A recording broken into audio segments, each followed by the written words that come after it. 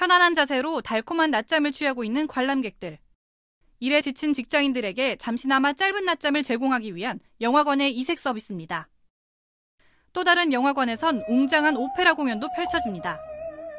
대형 스크린에 나타나는 이미지와 함께 인물들의 목소리가 어우러져 또 다른 볼거리를 만들어냅니다.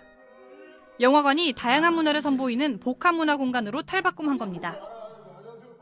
최근 영화관에선 영화 상영만 한다는 편견을 벗어던지고 공연과 전시를 진행하는 등 다양한 변신을 꾀하고 있습니다.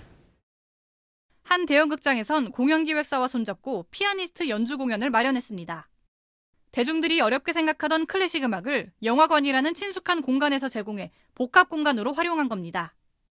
실제로 굉장히 영화뿐만 아니라 다른 문화를 재미있게 즐기실 수 있어서 좋아하시고요. 영화를 매개로 조금 더 쉽고 재미있게 다른 컨텐츠를 받아들이실 수 있다는 점에서 긍정적으로 생각하시는 것 같습니다. 한 공간 안에서 다양한 문화 콘텐츠를 체험할 수 있어 관객들에게도 인기입니다.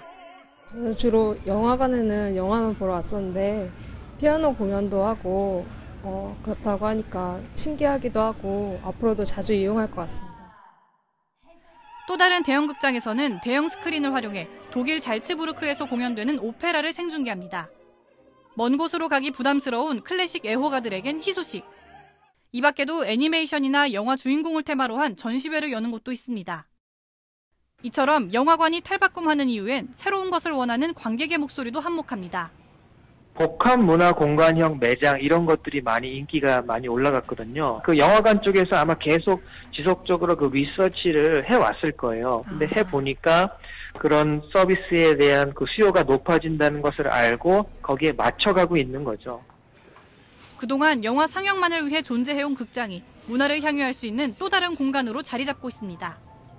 TBS 박가현입니다.